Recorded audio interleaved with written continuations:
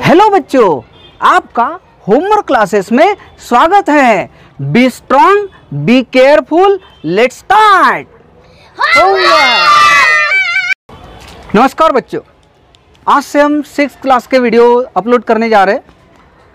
और six class के जो मैथ्स हो गए महाराष्ट्र स्टेट बोर्ड तो उसमें आपको कोई भी दिक्कत हो कोई भी प्रॉब्लम हो कोई डिफ़िकल्टी हो तो आप हमसे शेयर कर सकते हैं। आप कमेंट्स में लिख सकते हो ओके बच्चों स्टार्ट करने से पहले मैं आपको एक बात बताना चाहता हूँ कि हमारा जो ये होमवर्क क्लासेस है, ये जो देखो, ये होमवर्क क्लासेस है ना? ये हमारा जो होमवर्क क्लासेस है, ये हमारा नहीं है, ये आपका है। आपका जो होमवर्क क्लासेस है, हम ऐसा कह सकते हैं ओके तो इसमें क्या होगा दोस्तों? जितने भी आपके जो फ्रेंड्स हैं या आपके रिलेटिव्स हैं, उनको कहिए कि इस चैनल को सब्सक्राइब ज़रूर कीजिए, क्योंकि जैसे ही सब्सक्राइब करेंगे और जो बेल आइकन का बटन है, घंटी का बटन, वो दबा दीजिए, उसमें नोटिफिकेशन आएगा ऑल करके कर दीजिएगा। पर्सनलाइज में रहता है कभी कभी उसको ऑल कर दीजिएगा। इससे क्या होगा, हमारा जो जस्ट वीडियो यहाँ अपलोड किया, कि तुरंत विद इन सेकंड आपके यहाँ पहुँच जाएगा, है ना? आपको कुछ नया सीखने को मिलेगा। ओके? तो आज से हम शुरू करते हैं मैथ्स सिक्स यानी सिक्स क्लासेस का मैथ्स। अब मैथ्स सीखने के पहले मैं हर एक वीडियो में कुछ ना कुछ टिप्स आपको बताते जाऊँगा। जैसे कि प्रॉब्लम सेट वन है। प्रॉब्लम सेट वन बस आया डायरेक्ट प्रॉब्लम सेट वन शुरू किया ऐसा नहीं बच्चों। पहले उसके बारे में क्या इन्फॉर्मेशन है, ये भी जानना आपको ज़रूरी है है ना? ये अगर नहीं जानोगे तो आप प्रॉब्लम सेट नहीं कर पाओगे। तो आपको प्रॉब्लम सेट कंप्लीट करने के लिए थोड़ी सी इन्फॉर्मेशन जो रहती है, वो बहुत ही काम की रहती है, जिसको इम्पोर्टेंट इन्फॉर्मेशन कहते हैं, वो हम आपको सबसे पहले बताने जा रहे हैं। तो चलो हम शुरू करते हैं, मैं आपको थोड़ी इन्फॉर्मेशन देता हूँ, उसके बाद प्रॉब्लम सेट वन शुरू करते हैं ओके कोई प्रॉब्लम तो लेट्स स्टार्ट होमवर्क देखिए बच्चों, मैं आपको अभी थोड़ी सी इन्फॉर्मेशन दे रहा हूँ, है ना? वो इन्फॉर्मेशन आप ध्यानपूर्वक सुनिए, बड़ा मज़ा आएगा, और आपको जो जोमेट्री है स्टार्टिंग जो लेवल है ज्योमेट्री वो पूरा कन्फ्यूज़न दूर हो जाएगा। वैसे तो आपके लिए नया नया ज्योमेट्री है ना? तो मैं आपको ज्योमेट्री में मास्टर बना दूँगा। होमवर्क का मास्टर देखिए बच्चों, मैं सबसे पहले तो अभी एक आपको बेस एक पॉइंट ये वाला एक पॉइंट ले लेते ओके इस पॉइंट ये वाले पॉइंट से हम ऐसे कितनी लाइन निकाल सकते हैं? मान लो मैंने एक ऐसी लाइन निकाल लिया ओके आप बताइए और कितनी लाइन निकाल सकते हैं? एक पॉइंट से आप कितनी लाइन निकाल सकते हैं? तो हम ऐसी भी लाइन निकाल सकते हैं।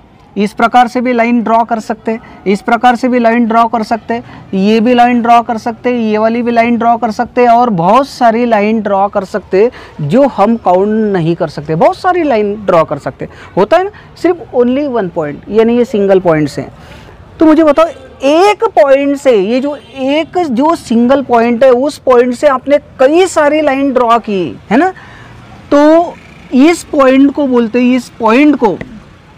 Point of concurrence point of concurrence क्या बोलते हैं बच्चों? पॉइंट ऑफ़ कॉन्करेंस जो पॉइंट है, ये पॉइंट यानी जिस पॉइंट से कई सारी लाइन ड्रॉ कर चुके हैं, उस पॉइंट को बोलते हैं point of concurrence okay second ये जो एक पॉइंट से आपने कई सारी लाइन ड्रॉ कर चुके हैं ना? एक पॉइंट से कई सारी लाइन ड्रॉ कर चुके हैं। तो ये जो लाइंस है, ये जो लाइंस है, ये जितने भी लाइंस है, ये जो लाइंस है, इस लाइन को बोलते हैं line of concurrent line of concurrent ये समझ में आया? समझ में आया बच्चों? हम्म? क्या बोला? जिस पॉइंट से कई लाइन ड्रॉ की जाती है। एक ही पॉइंट से कई सारी लाइन ड्रॉ की जाती है तो उसको बोलते हैं लाइन ऑफ़ कॉन्करेंट और उस पॉइंट का नाम है पॉइंट ऑफ़ कॉन्करेंस ये आपको समझ में आया? ये क्लियर हो गया। चलो, अब हम नेक्स्ट पार्ट के तरफ़ जा रहे हैं। अब देखो बच्चों, मैं आपको बहुत ही इंपॉर्टेंट पार्ट पढ़ाने जा रहा हूँ। देखो, मैं यहाँ लिख लेता हूँ इंपॉर्टेंट आप भी अपनी कॉपी में इंपॉर्टेंट पार्ट ऐसा लिख सकते हो। आप भी अपनी कॉपी में इंपॉर्टेंट पार्ट लिख लो। ये बहुत ही इंपॉर्टेंट है। इसके बेसिस से आप कोई भी आंसर दे सकते हो। प्रॉब्लम सेट वन जो है, वो पूरा इस इंपॉर्टेंट पार्ट पर डिपेंड है, जो कि मैं अभी आपको बताने जा रहा हूँ ओके तो हम कोई जल्दबाजी नहीं करते, आराम से लेंगे। जिन बच्चों को पूरा समझना है वो बच्चे आराम से देखेंगे और जिन बच्चों को कार्टून देखना है, वो बंद कर दीजिए और कार्टून देखिए, ओके? शुरू करें। तो सबसे पहले मैं आपको बता रहा हूँ, देखिए ये जो दो पॉइंट है, ओके? है ना? ये दो पॉइंट के बीच में जो लाइन निकाली जाती है पॉइंट ए और पॉइंट बी पॉइंट ए और पॉइंट बी हो गया? इसको बोलते हैं सेगमेंट सेगमेंट इसको शॉर्ट फॉर्म सेग भी बोलते हैं सेग इसको क्या कहते हैं? सेगमेंट सेगमेंट में क्या होता है? Point A to point B बस डिस्टेंस ओके अब मान लो मैंने ये वाला एक पॉइंट लिखा और बाद में मैंने ऐसी लाइन निकाला। यहाँ पॉइंट है पॉइंट ए और यहाँ पॉइंट बी ओके लेकिन वो आगे में लाइन जा रही है। अगर मान लो यह एरो हो, यह एरो हो, कहते हैं रे यानी कहीं तो भी एक एरो रहा एक एरो तो उसको हम रे बोलेंगे। धनुष बाण चला देना आप ऐसे। बराबर है? तो क्या होता है? एरो रहता है आगे एरो बाण, टोक। तो उसको हम रे बोलेंगे। याद रखना बच्चों, रे। क्या? अरे तो रे नहीं, रे। समझ में आया? रे। रे का मतलब होता है किरण। लड़की का नाम है, लेकिन उसको किरण बोलते हैं। अब दूसरा मान लो इस साइड में भी एरो और इस साइड में भी एरो अगर रहा बच्चों, इस साइड में भी एरो दोनों तरफ़ एरो रहा तो इसको लाइन बोलते हैं लाइन इसको लाइन बोलते हैं। आप हमेशा लाइन क्या बोलते हैं? ऐसी लाइन निकाल लिए बस हो गए लाइन आपने अभी तक सिक्स में आने तक आपने बस एक ही बात देखी है कि आप बस इसी को लाइन निकालते इसको लाइन बोलते लेकिन लाइन एक्चुअल ऐसी होती है। इसका मतलब ये है बच्चों, कि आप एरो, यानी जितना आप बढ़ा सकते हो, एरो का मतलब वो आगे आगे जाना।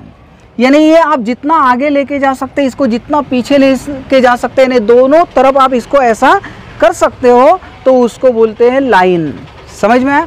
अगर मैंने इसको यहाँ डॉट लगा दिया, यहाँ डॉट लगा दिया तो it is not line it is segment segment का मतलब होता है ये आगे नहीं बढ़ेगी, ये इतनी ही रहेगी। जैसे कि मान लो बच्चों, ये है पेन। यहाँ मैंने डॉट लगाया, यहाँ डॉट लगाया तो बस ये इतना, यहाँ आगे नहीं बढ़ेगा, यहाँ आगे नहीं बढ़ेगा तो डेट इज़ सेगमेंट लेकिन अगर इसको हम आगे बढ़ा सकते हैं तो इसको अगर मैं आगे बढ़ा सकता हूँ तो रे, लेकिन मैं इसको दोनों तरफ़ बढ़ा सकता हूँ तो ये हो गई लाइन समझ में आया? यानी वन साइड अगर बढ़ता हो वन साइड एरो जाता हो तो रे, अगर दोनों साइड में अगर एरो जाता हो, यानी दोनों साइड में हम उसको एक्सपांड कर सकते हैं तो डेट इज़ कॉल्ड उसको बोलेंगे लाइन। क्या बोलेंगे?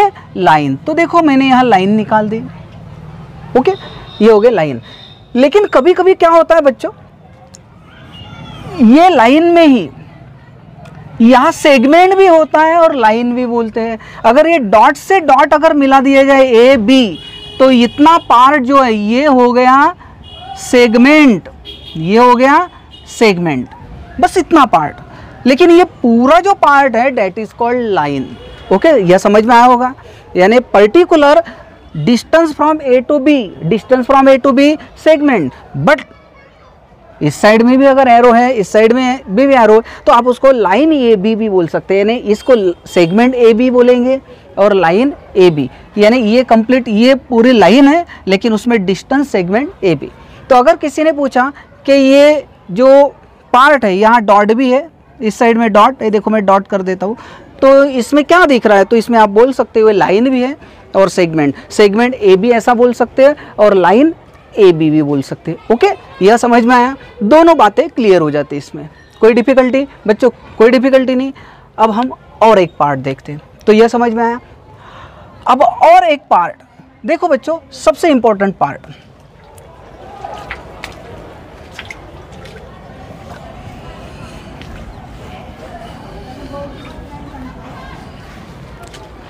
सबसे इंपॉर्टेंट पार्ट ये क्या मान लो मैंने ऐसी दो लाइन ड्रॉ कर दी। देखो दो लाइन है ना? अब ये दो लाइन देखे तो ये लाइन सीधी सीधी जा रही है। ये भी लाइन इधर सीधी इस साइड में भी अगर देखोगे तो इस साइड में भी कंप्लीटली स्ट्रेट फॉरवर्ड हो जाएगी। आपने रेल की पटरी देखे होंगे? देखे होंगे? है ना? रेल की पटरी में अगर देखा जाए तो दोनों कैसे लाइन बिल्कुल, अगर यहाँ आप खड़े हो तो यहाँ उनका जो डिस्टेंस है, जैसे यहाँ यहाँ जो डिस्टेंस है, यही डिस्टेंस यहाँ पर भी रहता है है ना? होता है ना? और यही डिस्टेंस आप बॉम्बे में भी जाओगे, उसी ट्रेन से तो वहाँ पर भी उतना ही डिस्टेंस क्यों ऐसा होता है? क्योंकि डिस्टेंस कम हुआ तो ट्रेन पटरी के नीचे आ जाएगी। डिस्टेंस ज़्यादा हो गया तो ट्रेन पटरी के नीचे आ जाएगी। यानी यहाँ जो जितना डिस्टेंस है, उतना ही डिस्टेंस यहाँ रहेगा। तो ये कंटिन्यू ये बिल्कुल सेम टू सेम ऐसे ऐसे चलते रहेगी चलते रहेगी चलते रहेगी, बराबर है? तो इसको बोलते हैं पैरेलल लाइन पैरेलल लाइन का मतलब होता है जिसका डिस्टेंस नागपुर में देखो या कानपुर में देखो। नागपुर में देखो या कानपुर में देखो। डिस्टेंस आपको सेम दिखेगा, डिस्टेंस। तो उसको कहते हैं पैरेलल लाइन। समझ में आया बच्चों? तो ये हो गई पैरेलल लाइन। यानी इसका डिस्टेंस और इसका डिस्टेंस क्या है? सेम। तो ये हो गया पैरेलल लाइन। Parallel line. हो गया? ये हो गई पैरेलल लाइन। ठीक है? यह समझ में आया? बहुत ही इंपॉर्टेंट है बच्चों, ये पैरेलल लाइन ना अब दूसरा। दूसरी लाइन। अब मुझे बताओ, ये जो लाइन है, ये भी क्या है? पैरल लाइन अगर मान लो इसका डिस्टेंस अगर यहाँ से यहाँ सेम है तो पैरल लाइन वो क्या है? ये मैंने सीधा निकाला, ऐसे भी जा सकती है, वो ऐसे भी जा सकती है। बस दोनों का डिस्टेंस कैसे होना चाहिए? सेम तो ये पैरल लाइन है। और एक पार्ट आता है बच्चों। एक आता है इंटरसेक्ट लाइन इंटरसेक्ट लाइन मैं बता रहा हूँ, ये दोनों क्या हो गई? पैरल लाइन पैरेलल लाइन हो गया? अब इंटरसेक्ट लाइन इंटरसेक्ट का मतलब होता है जैसे ये वाली लाइन यहाँ आ गई। ओके अब दूसरी लाइन मैंने मान लो ऐसे निकाल दिया। तो मुझे बताइए यहाँ क्रॉसिंग हो रहा है? क्रॉसिंग हो रहा है। दोनों एक दूसरे को क्रॉस कर रहे हैं ना? अगर क्रॉसिंग जहाँ आता हो, जहाँ क्रॉसिंग आता हो, उसको बोलते हैं इंटरसेक्टिंग लाइन इंटरसेक्टिंग लाइन यानी ये देखो, यहाँ इंटरसेक हो रहा है। इंटरसेक का मतलब होता है क्रॉस इंटरसेक का मतलब होता है क्रॉस यह इंटरसेक लाइन यह समझ में आया? तो ये पैरेलल लाइन ये भी पैरेलल लाइन और ये इंटरसेक आप जल्दबाजी मत करो बच्चों। प्रॉब्लम सेट वन का आंसर लिखने में जल्दबाजी मत करो। सबसे पहले इसको पढ़ना बहुत ज़रूरी है। प्रॉब्लम सेट वन का तो आंसर अगर देखना हो तो गाइड से देखकर भी आप लिख सकते हो। लेकिन आप होमवर्क क्लासेस में सिर्फ़ होमवर्क नहीं कर रहे, आप कुछ सीख भी रहे, हैं ना? तो सीखना बहुत ज़रूरी है। पढ़ना और सीखना दोनों अपनी अलग अलग जगह है, अपनी अलग अलग बातें हो दोनों। पढ़ना तो कोई भी पढ़ सकता है, लेकिन सीखना, यानी कुछ तो बड़े होने तक भी सीखते नहीं है, पढ़ते बहुत है, लेकिन सीखना बहुत ज़रूरी है। मैं आज आपको सिर्फ़ सिखा रहा हूँ, हमारे होमवर्क क्लासेस में पढ़ाया भी जाता है और सिखाया भी जाता है, ओके? तो इंटरसेक्टिंग लाइन अब मैं आपको एक बात बता रहा हूँ बच्चों, ये देखो, ये वाली लाइन और ये वाली लाइन थोड़ा सा कन्फ्यूज़न करने के लिए मैं थोड़ा सा अलग लाइन निकाल लेता हूँ। मुझे बताओ बच्चों, ये इंटरसेक्टिंग लाइन है या पैरेलल लाइन अब मुझे आंसर चाहिए आपसे। तो बताओ इंटरसेक्टिंग लाइन है या पैरेलल लाइन है? ज़ोर से, फटाफट, ज़ोर से बोलो। इंटरसेक्टिंग लाइन है या पैरेलल लाइन तो ये दिखने में पैरेलल है, लेकिन पैरेलल नहीं इंटरसेक्टिंग लाइन है। चलो मैं आपको प्रूव करके इंटरसेक्टिंग लाइन का मतलब है कि यहाँ डिस्टेंस अलग और बाकी दूसरे जगह डिस्टेंस अलग रहेगा। जैसे कि यहाँ छोटा डिस्टेंस है, या ज़्यादा बड़ा डिस्टेंस है ना। देखो, अगर मैं इस लाइन को अगर बढ़ा देता हूँ, बढ़ा देता हूँ, देखो ये लाइन मैं बढ़ा रहा हूँ। बढ़ा दिया यहाँ तक, और इस लाइन को मैं बढ़ाता हूँ। तो देखो ये कहीं ना कहीं क्रॉसिंग होगी। होगी कि नहीं क्रॉसिंग हो रही है। अगर वो यहाँ क्रॉसिंग नहीं दिख रही, लेकिन फ्यूचर में आगे में कहीं तो भी वो क्रॉसिंग होगी तो that is called intersecting line तो ये भी इंटरसेक्टिंग लाइन है, वो दिखने में मैंने ऐसा ड्रॉ कर दिया आपको। और आपको लगता है, सर क्रॉसिंग तो नहीं हुआ। है ना? लेकिन आगे बढ़ाओ लाइन अगर लाइन को आगे बढ़ाते हो तो वो भी इंटरसेक्ट लाइन हो सकती है। लेकिन इस लाइन को आप कितना भी आगे बढ़ाओ, वो सेम टू सेम डिस्टेंस रहेगा, कभी एक दूसरे को क्रॉस नहीं करेगा। तो मैं आशा करता हूँ बच्चों, आपको ये पार्ट पूरी तरह समझ में आ गया होगा। अगर नहीं समझ में आ गया हो तो वीडियो को फिर से रिपीट देखिए, है ना? बार बार देखिए, हज़ार बार देखिए, ठीक है? अब हम प्रॉब्लम सेट वन स्टार्ट करते हैं बच्चों। चलो शुरू करते हैं। हाँ देखो बच्चों भी प्रॉब्लम सेट वन क्या लिखा है? ये आपको डायग्राम दिया है, यानी ऐसा फिगर दिया है आपको, आकृति। और लुक एट द फिगर ये फिगर को देखना है आपको, यानी इस आकृति को देखना है। Along side and name the following और कुछ नाम बताना है, जैसे कोलिनियर पॉइंट बताना है आपको रेज बताना है लाइन सेगमेंट और लाइंस ठीक है? तो चलो शुरू करते हैं, बराबर ध्यान रखो बच्चों। कोलिनियर पॉइंट कोलिनियर पॉइंट का मतलब क्या होता है? एक ही लाइन में आने वाले पॉइंट कम से कम तीन पॉइंट होने चाहिए। दो पॉइंट तो एक लाइन में आते ही, जैसे ये वाले दो पॉइंट्स हैं तो इसको ऐसा जोड़ दो। ऐसा नहीं कोलिनियर पॉइंट का मतलब तीन पॉइंट कम से कम, उससे ज़्यादा आए तो अच्छी बात है, लेकिन कम से कम तीन पॉइंट एक लाइन में आने चाहिए, एक ही लाइन में। तो मुझे बताओ बच्चों, देखो ये वाला एक पॉइंट है, ये वाला, ये तो दो ही पॉइंट हो गए। तीन पॉइंट कहाँ रहे तो देखिए, बराबर देखिए, ये वाला एक एम ये ओ और ये टी आ गए ना एक ही लाइन में? अरे हाँ या ना?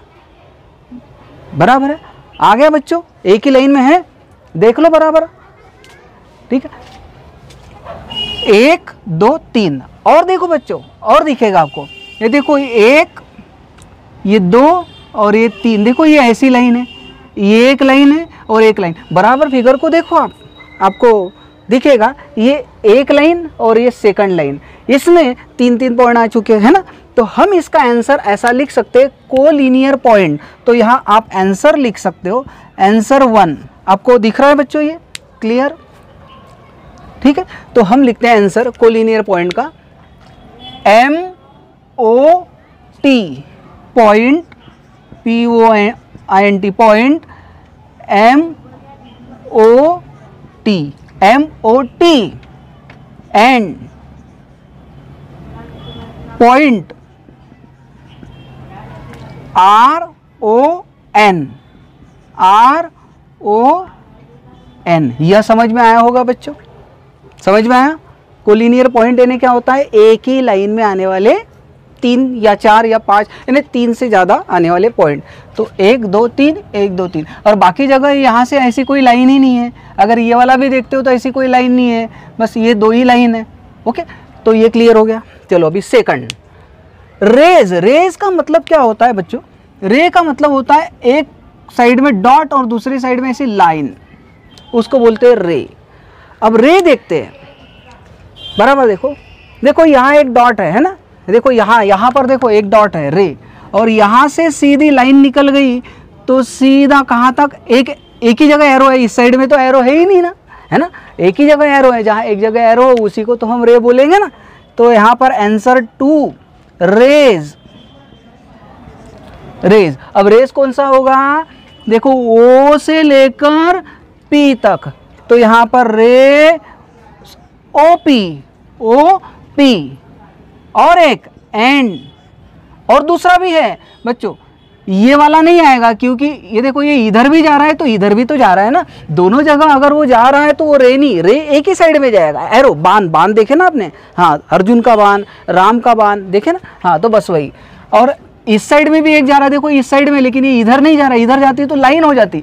लेकिन इस साइड में अगर कोई पॉइंट हो, एक ही जगह एरो जा रहा हो तो उसको रे बोलेंगे, यानी ओ एस रे, यहाँ लिखते हैं, रे ओ एस समझ में आया बच्चों? रे यानी एक जगह जाने वाला बान। अब नेक्स्ट थर्ड पॉइंट लिखते हैं बच्चों line segment line segment line segment बराबर देखो बच्चों लाइन सेगमेंट आपको ये थोड़ा सा फीका लग रहा होगा तो आप झूम करके देख सकते हो, ठीक है? लाइन सेगमेंट अब लाइन सेगमेंट यानी क्या होता है बच्चों?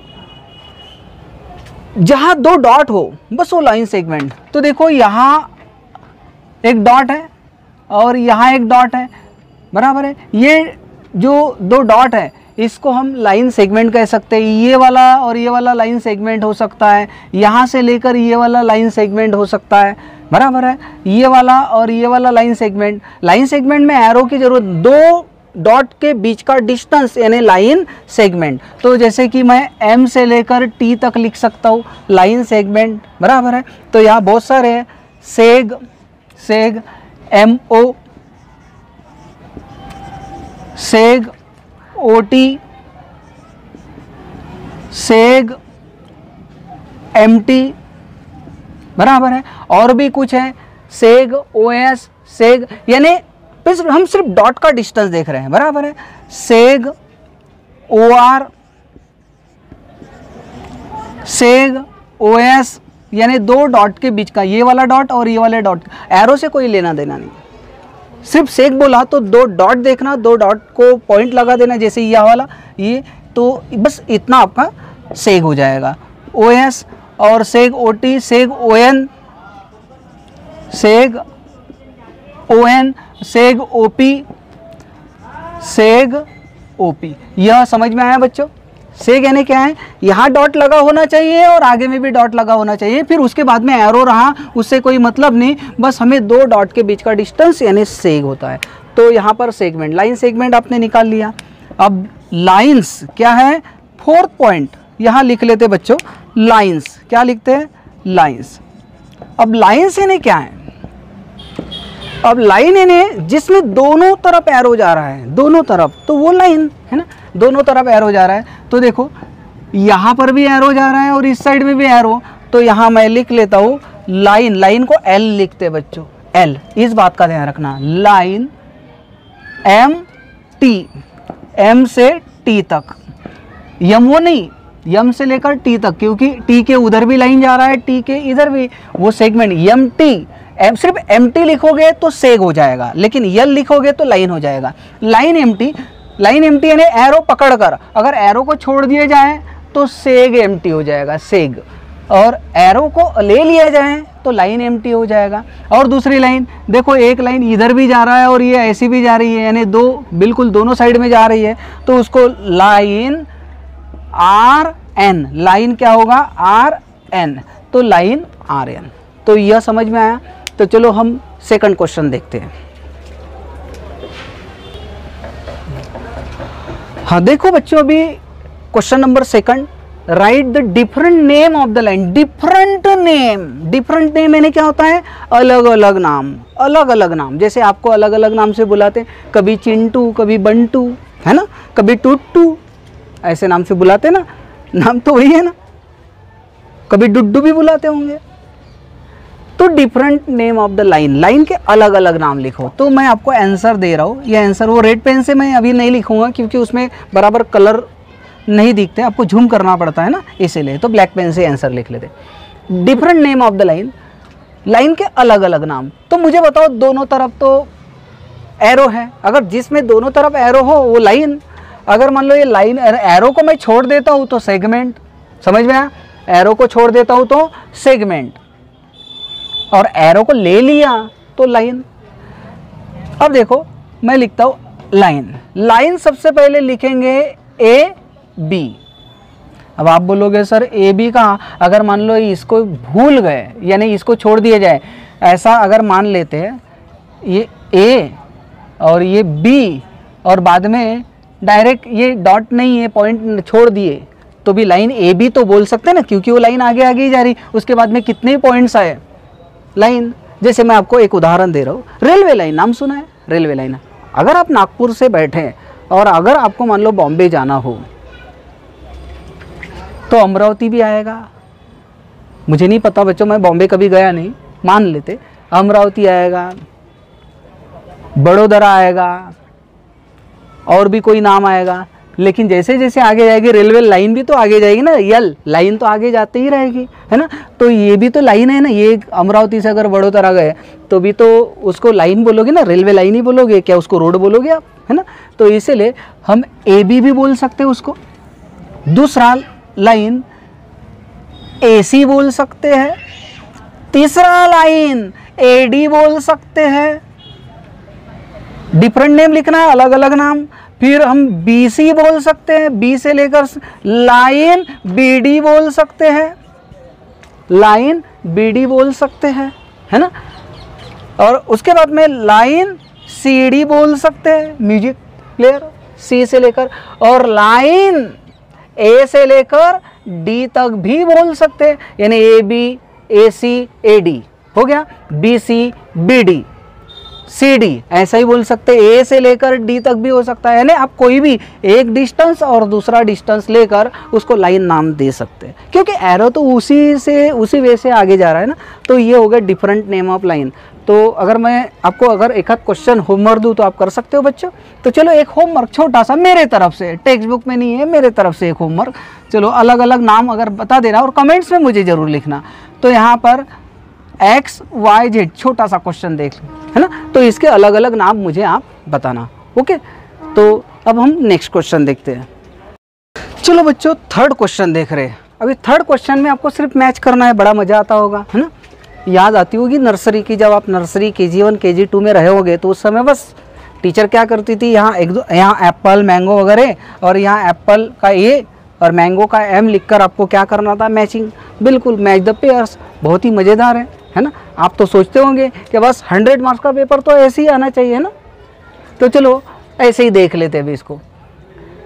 सबसे पहले तो जहाँ दोनों तरफ़ एरो है तो उसको लाइन कहते हैं। दोनों तरफ़ एरो हो तो लाइन अगर एक ही तरफ़ एरो हो तो रे मैंने आपको पहले बताया इसी वीडियो में। दोनों तरफ़ एरो हो तो उसको हम लाइन कहेंगे। तो दोनों तरफ़ एरो है तो इसको लाइन कहेंगे। ओके तो ये ऐसा ज्वाइन कर दो। ये हो गया। अब जिसके एक ही तरफ़ अगर एरो है तो उसे हम क्या कहेंगे बच्चों? क्या कहेंगे? रे। देखो, एक ही साइड में एरो है तो इसको रे, इसको हम धनुष बाण भी बोलते हैं ना? बाण। राम का बाण, अर्जुन का बाण, उस प्रकार से एक ही तरफ़ एरो है, रे। और जिसको एरो नहीं है, लेकिन दो डॉट है। इधर भी डॉट इधर भी डॉट बराबर है? तो उसको बोलते लाइन सेगमेंट सेगमेंट लाइन नाम नहीं भी रहता कभी कभी सिर्फ़ सेगमेंट तो देखो यहाँ दोनों तरफ़ डॉट है तो हम इसको नाम देंगे सेगमेंट देखिए सेगमेंट ओके अब बचा क्या है? आपको तो अच्छी तरह से पता है, इसका कुछ अता पता नहीं, यानी आपने कभी पढ़े नहीं तो इसको बचा हुआ क्या है? प्लेन इसको नाम क्या दे देंगे? प्लेन तो ये हो गया प्लेन प्लेन का मतलब होता है बच्चों, आपके पास कोई स्लेट होगी, पार्टी पार्टी, लिखने की पार्टी जो होती है ना स्लेट तो वो बिल्कुल प्लेन रहती है ऊपर से, है ना? तो इसलिए उसको प्लेन बिल्कुल वही है। प्लेन का मतलब ऊपर से बिल्कुल कोई भी भाग, जैसे आपकी कॉपी का ऊपर का जो सरफेस एरिया है तो वो भी प्लेन तो ये है प्लेन समझ में प्लेन है एरोप्लेन नहीं। तो ये पार्ट आपको समझ में आ गया होगा। अभी हम फोर्थ क्वेश्चन देख रहे हैं बच्चों। देखो बच्चों, अपना क्वेश्चन नंबर अभी शुरू हो रहा है। फोर्थ हाँ बहुत ही इंपॉर्टेंट है। आप बराबर ध्यान से सुनिए। ओके तो यहाँ लिखा है ऑब्ज़र्व क्या लिखा है? ऑब्ज़र्व ऑब्ज़र्व का मतलब होता है निरीक्षण करना। यानी ध्यान से निरीक्षण कीजिए आप। ऑब्ज़र्व द फिगर बिलो ये जो फिगर दिया है है ना? इसको बराबर ध्यान से देखना है आपको। नेम द पैरेलल लाइन आपको क्या लिखना है? पैरेलल लाइन पैरेलल लाइन का मतलब क्या होता है बच्चों? अगर मैंने एक लाइन ऐसे निकाला ड्रॉ किया, उसके बाद में सेकंड लाइन अगर मैं ड्रॉ करता हूँ तो यहाँ जो डिस्टेंस है, और यहाँ का डिस्टेंस यानी starting distance and ending distance और सेंटर में भी जहाँ कहीं भी आप अगर डिस्टेंस काउंट करोगे तो वो डिस्टेंस कैसे होना चाहिए? सेम होना चाहिए। जस्ट लाइक like, आप क्या बोल सकते हो? बताइए ट्रैक रेलवे ट्रैक है ना? रेल की पटरी वो कैसे सभी तरफ़ सेम रहती ना? तो उसको पैरेलल लाइन यानी ये कभी भी एक दूसरे को ऐसे क्रॉस नहीं करेगी। जैसे ये वाली लाइन है ये कंप्लीट ऐसे सीधी जा रही है। ये ऐसे क्रॉस नहीं करेगी क्रॉस नहीं करेगी। उसको बोलते हैं पैरेलल लाइन उसको क्या बोलते हैं बच्चों? पैरेलल लाइन तो पैरेलल लाइन ऐसा नहीं क्या ये ऐसे ही रहेगी। कभी ऐसे भी रह सकती है। देखो, ये तीन लाइन कंटिन्यू अगर मैं, मान लो मैं कंटिन्यू ऐसे आगे आगे बढ़ाता हूँ तो ये कभी भी एक दूसरे को क्रॉस नहीं करेगी। ऐसी भी हो सकती पैरेलल लाइन पैरेलल लाइन ऐसी भी हो सकती है। इस साइड में आप ऐसे निकाल सकते हो। बराबर है। तो पैरल लाइन ऐसा नहीं, क्या बस ये हॉरिजेंटल शेप में ही होगा वर्टिकल शेप में भी हो सकती है है ना? और स्लाइडिंग शेप में भी हो सकती है। आपको बराबर ध्यान से ऑब्ज़र्व करना है, बराबर ध्यान रखो ओके तो मैं ऑब्ज़र्व करता हूँ। सबसे पहले तो देखो, मुझे पैरल लाइन ये देखो, ये वाली एक लाइन आपके सामने ड्रॉ किया मैंने ओके आफ्टर देन ये वाली एक लाइन, देखो मैंने ड्रॉ किया ओके ये वाली लाइन और ये वाली लाइन, देखिए, अब मैं सीधी सीधी लाइन ड्रॉ कर रहा हूँ। और इस साइड में भी तो मुझे बताओ, कहीं पर भी क्रॉसिंग नहीं हो सकती तो ये पैरेलल लाइन है ओके बच्चों? तो चलो, एक पॉइंट तो मिल गया आपको पैरेलल लाइन वाला तो यहाँ पर आप आंसर लिखोगे, यानी सोल्यूशन मैं लिख रहा हूँ, आप भी लिख सकते हो solution parallel line parallel line parallel line लिखा? अब पैरेलल लाइन में क्या होगा? यहाँ पर line A and line P ये एम नहीं ले सकते क्योंकि अगर मान लो मैंने एम ले लिया, जैसे कि मान लो ये ए ले लिया और ये पी ले लिया, ये पैरेलल अगर मान लो एम लेता हूँ तो ये तो क्रॉसिंग हो जाएगी ना? तो क्रॉसिंग नहीं होना चाहिए बच्चों। इसीलिए यहाँ एम नहीं लेना है, ओके? तो यहाँ पर पैरेलल लाइन लिखते तो सबसे पहले कौन सा होगा? सॉल्यूशन में लाइन यहाँ line line A line A and line और दूसरा लाइन कौन सा होगा? पी लाइन पी तो पैरेलल लाइन का एक साइन भी रहता है बच्चों। मैं वो साइन दे देता हूँ आपको, ठीक है? तो वो साइन कौन सा होगा? ये देखो, ऐसी दो खड़ी लाइन ऐसे निकालना इसको बोलते हैं पैरेलल लाइन ओके ये पैरेलल लाइन का साइन है, इस बात का ध्यान रखना। ये वाला जो है ना पैरेलल लाइन का साइन है ओके अब ये हो गया, उसके बाद में और दूसरा देखते बच्चों। अब दूसरा सेकंड इसमें पैरेलल लाइन इतनी नहीं है, और भी है पैरेलल लाइन आप देख सकते हो, ये देखो ये देखो, ये बी और ये एम और ये क्यू है ना? बी एम क्यू ये कितने भी अगर कंटिन्यू आगे भी जाएगी तो क्रॉस नहीं होगा। देखो, मैं आपको प्रैक्टिकली बता रहा हूँ। बराबर ध्यान से देखो। ये देखो, ये मैं कुछ लाइन यहाँ खींच कर रखा था पहले से ही। तो देखते हैं। ये देखो, ये कभी भी ये क्रॉस नहीं करेगी। किसी को भी क्रॉस नहीं करेगी। ये देखो देखो आ गई एक के ऊपर एक तो ये तीनों लाइन कैसे है? पैरेलल वन ये वाला एक, ये सेकंड और ये थर्ड है ना? तो ये पैरल लाइन है। तो आप ऐसा लिख सकते हो। यहाँ मैं लिख रहा हूँ, आप भी लिख लो। लाइन लाइन कौन सा है? बी लाइन बी पैरेलल ये पैरेलल का साइन है बच्चों, ध्यान रखना है यहाँ लाइन लाइन कौन सा हो गया? M line M parallel line Q line Q okay line line Q line Q okay तो ये हो गया पैरल लाइन कंप्लीट फटाफट लिख लो बच्चों, फटाफट लिख लो। देखो बच्चों, अभी पैरल लाइन हो गया। अभी second concurrent line concurrent line ये भी सॉल्यूशन में आएगा। कॉन्करेंट लाइन मैंने लिख लिया कॉन्करेंट लाइन ओके अभी कॉन्करेंट लाइन का मतलब क्या होता है? एक पॉइंट से, जैसे कि एक पॉइंट है, इस पॉइंट से जितनी भी लाइन जाएगी, एक पॉइंट से कहीं लाइन ड्रॉ कर सकते नंबर ऑफ़ लाइन ड्रॉ कर सकते you can draw number of line that is called concurrent line only one point यानी line passing through only one point तो देखो ये जो है, एक ही पॉइंट इसमें से लाइन कौन सी जा रही? ए तो ये कॉन्करेंट लाइन हो गई है। तो आप लिख सकते हो लाइन लाइन ए कॉमा कर दो। यहाँ पर साइन नहीं रहता पैरेलल का साइन रहता, वो ऐसा नहीं रहेगा।